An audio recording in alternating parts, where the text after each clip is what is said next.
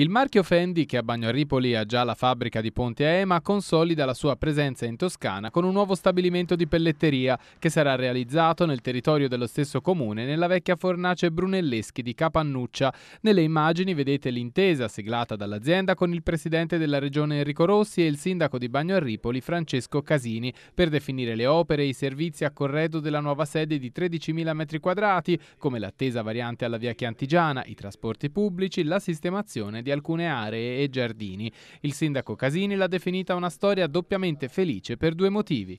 Uno perché una delle aziende più importanti nel settore della moda si consolida sul nostro territorio, a Bagnarripoli, lo fa con un grande investimento sotto il profilo architettonico, sotto il profilo dell'inserimento paesaggistico, eh, si recupera anche però un'area di degrado dove ci sono state nel tempo occupazioni, dove c'è stato nel tempo problemi di natura ambientale, Ethernet e quant'altro. Quindi una grande operazione in un territorio, quello di Bagnarripoli, che si dimostra ancora una volta attrattivo verso le grandi aziende, aziende aziende nel settore della moda.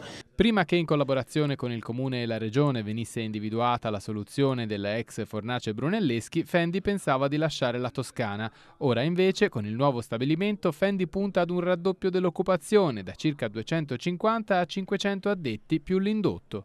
Abbiamo attenzione come Regione anche sul versante della formazione e poi eh, c'è un progetto eh, di digitalizzazione dell'azienda che dobbiamo portare in porto con eh, la Regione Lazio e che cercheremo di finanziare anche con fondi europei del FERS eh, per stare vicini ai progetti di un'azienda forte, dinamica, così importante nel mondo della moda. Quindi un successo per tutti.